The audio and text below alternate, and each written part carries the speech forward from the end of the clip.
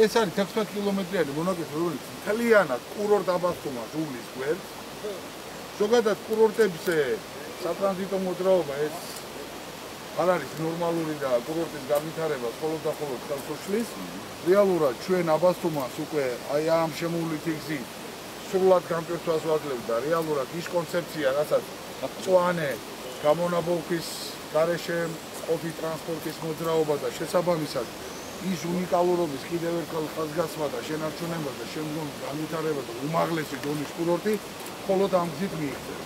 თლიანად ბაღდათი აბასუმის კონცეფცია ითვალისწინებს უკვე რეალურად ბაღდათიდან ანუ იმერეთის და დასავლეთ საქართველოს და სამცხე-ჯავახეთის დაკავშირებას უმოკლესი გზით ქუთაისის საერთაშორისო აეროპორტიდან აბასუმამდე 2 საათ ნახევარში შეიძლება უკვე ამ ახალი გზით გადაადგილდე ნაცვლად იმისა რომ 4 საათი იდეალურ შემთხვევაში ჭირდება დღეის მდგომარეობა.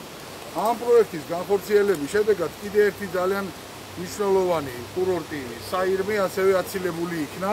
ანუ რეალურად ჩვენ სხვა ხეობაში გადმოვედით.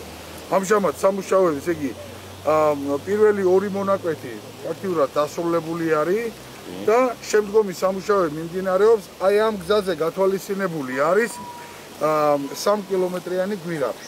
მთლიანად აღნიშნული გზა გვირაბის გარეშე დასრულდება 2024 წლისთვის.